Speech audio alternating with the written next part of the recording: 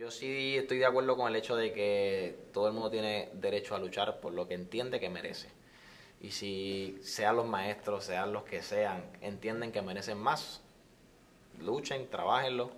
Yo entiendo que sí, yo tengo familiares que son maestros, que tienen familia, tienen hijos, y sí entiendo que, que, deben de luchar mucho más para tener la cantidad que ellos entienden que merecen recibir, porque ellos son los que le dan la educación a las personas del futuro, ¿me entiendes? So, creo que lo que están haciendo, después que lo mantengan así como lo están haciendo, de manera en orden y súper bien y positiva, que lo sigan haciendo hasta que hasta que pase lo que tenga que pasar y tenga, un resultado, porque créeme que va a llegar un resultado.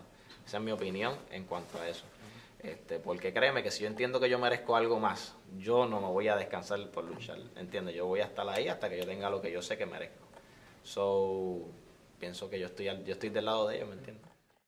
Este, yo le puse la molillo porque yo creo que cuando yo comencé en la música, lo que me, ¿verdad? Por lo que la gente me conoció es por la música romántica, la música de Samuel.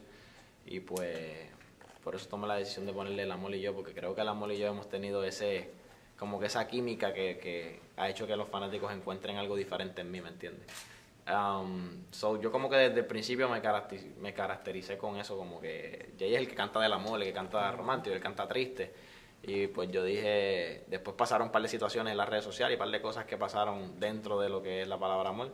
Y dije, acho, el amor y yo siempre estamos con una batalla en algo, ¿me entiendes? Y, la gente también piensa que el amor y yo siempre estamos peleando, o siempre estamos mal, o, o, estamos bien pero no estamos tan bien. Y pues yo dije, este disco se tiene que llamar El amor y yo. O sea, el amor que yo le siento a mis fanáticos, el amor que yo le siento a la música, junto con ese amor que la gente cree que yo estoy viviendo, que es el amor triste, el amor real, el amor enamorado y todo eso.